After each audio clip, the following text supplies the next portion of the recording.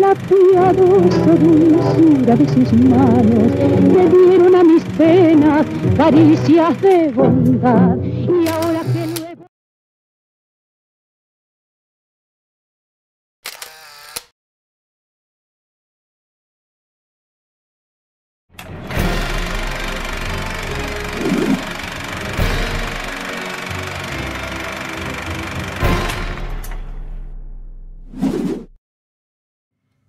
Libertad Lamarque fue una actriz y cantante que nació en Rosario, provincia de Santa Fe, Argentina, el 24 de noviembre de 1908. Hija de los señores Gaudencio Lamarque y Josefa Bouza. Su señora madre quedó viuda a cargo de siete hijos. Al conocer al señor Gaudencio, procrearon tres hijos más. Libertad fue la tercera y última. Sus dos hermanos fallecieron de muy pequeños. Fue criada por su hermana mayor, Eduviges, quien la amamantó. Creció en un ambiente de severa disciplina en casa de su abuela paterna. Lamarque desde muy pequeña se sintió atraída por la actuación. A la edad de siete años realizó sus primeras presentaciones en funciones a beneficio de los presos en su región.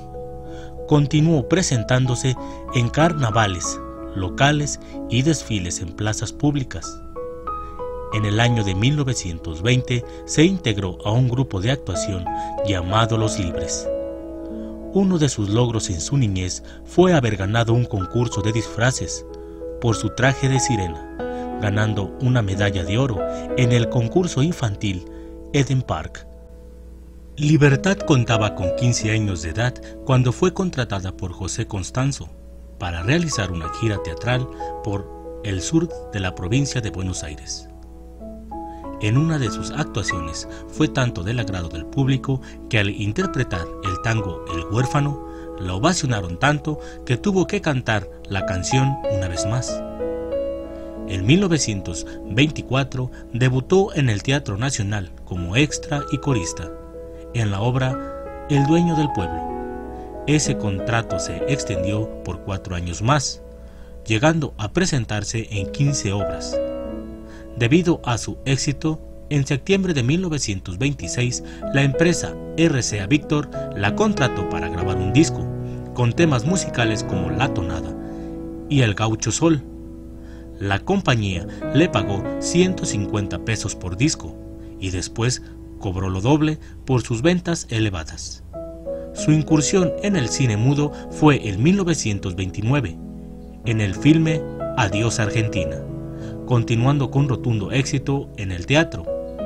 En 1932 filma su segunda película llamada Tango, siendo esta la primera película sonora de aquel país por este largometraje recibió 250 pesos por día de rodaje. Para 1935, Lamarque se consolidó como actriz melodramática tras su actuación en El alma de bandoneón. De 1938 a 1944 firma contrato con la compañía argentina Sonofilm, trabajando en la cinta Madre Selva de 1938 donde estrenó los tangos Madre Selva y Canción de Amor. En el viejo Buenos Aires, cinta de 1942, donde también recibió buenas críticas por parte de la prensa. Al tomar el poder Juan Domingo Perón en 1946, Lamarque afirmó que ya no recibió contrato alguno, lo cual lo atribuyó a su relación conflictiva con la actriz Eva Duarte, quien posteriormente se convirtió en Eva Perón, la primera dama de Argentina. Al entrevistarse con esta última para modificar su situación, funcionarios y colegas negaron que existiera una prohibición a su persona. Algunos historiadores indicaron que la verdadera razón fue la falta de celuloide para la industria cinematográfica durante el gobierno de Juan Domingo Perón, esto por la extrema censura y la exagerada propaganda en pro a la visión oficialista de ese gobierno.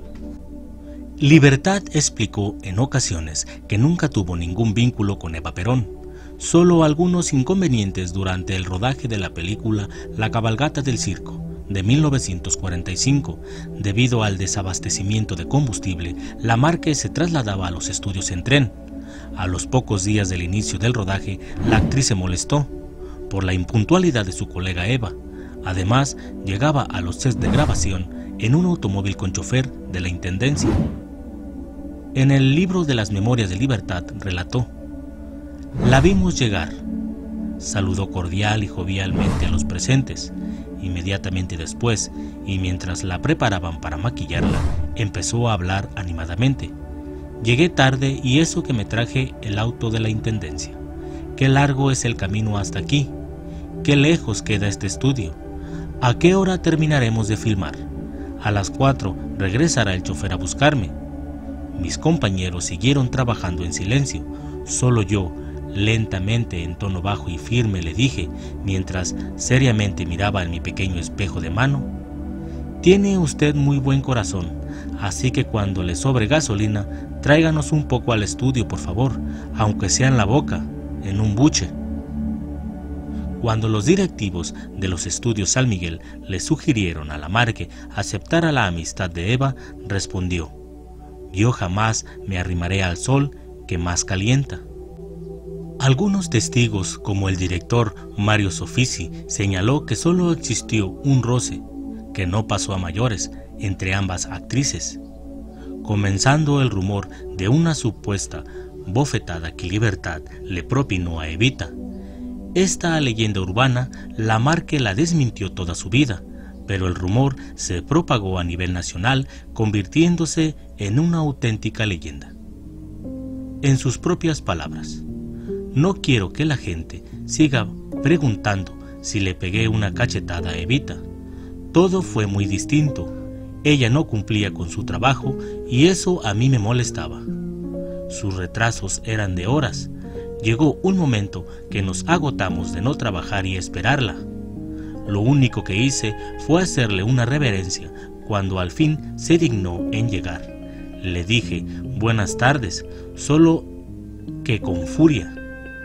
Ella solo se frotó las manos y un poco nerviosa miró a un lado y a otro y dijo, bueno, vamos. En 1947, desconociendo la procedencia de la orden, se le informó que había sido prohibido su trabajo en Argentina, viéndose impedida estrenar sus dos películas que hizo en México, Gran Casino y Soledad. La Marque señaló que comenzaron a emitir panfletos humorísticos en su contra, y la revista ¿Qué? fue clausurada solo porque mostraron fotografías de ella en otra ocasión, en su casa apareció marcada con una cruz blanca, símbolo que la señalaba como oligarca decidente. Por todo esto, hizo que Libertad abandonara Argentina y radicara definitivamente en México, donde llegó a formar parte de la denominada época de oro del cine mexicano, participando en más de 40 largometrajes, citando algunos como Gran Casino de 1948, La Dama del Velo de 1948, Huella del Pasado de 1950, La Mujer sin Lágrimas de 1951, Rostros Olvidados de 1952 y Ansiedad de ese mismo año, Reportaje de 1953, Cuando me vaya de 1953, Si volvieras a mí de 1954, Escuela de Música de 1955, Bodas de Oro también del 55, La Mujer que no tuvo infancia de 1957, y al término de la época de oro, La cigüeña dijo que sí de 1958, El pecado de ser madre de 1960, siendo su última película La loca de los milagros de 1973. Gracias a su trabajo y profesionalismo, es y fue muy conocida en México, siendo una pieza importante en nuestro cine hasta nuestros días. Su espectacular voz hizo que tuviese una gran cantidad de discos grabados, con altas ventas, siendo, junto a Gardel, una referente en la interpretación de tangos. Trabajó en televisión en seis telenovelas, en Argentina, Venezuela y México. Hacia el final de su carrera, en el cine, Libertad fue objeto de múltiples homenajes y reconocimientos por su vasta trayectoria. Lamarque alternaba su vida en Buenos Aires, Miami y México, manteniendo una gran vitalidad para su edad. Practicaba regularmente gimnasia, clases de canto, ciclismo, natación y yoga.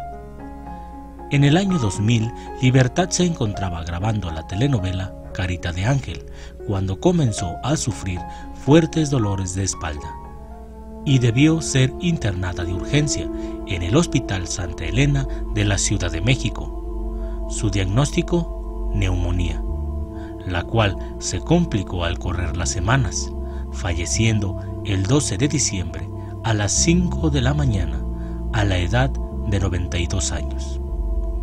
Actriz y cantante considerada la reina del melodrama, hizo innumerables presentaciones musicales en toda Latinoamérica, considerándola la máxima intérprete femenina de tango. En cada país que visitaba para presentarse utilizaba vestidos típicos, agradando a su público, valiéndole el calificativo de Libertad Lamarque, la novia de América. Corriente 348, es que segundo piso, ascensor. Enseñando la piernilla no le da vergüenza. A usted debía acompañar una orquesta de lágrimas. Y a usted una orquesta de balazos.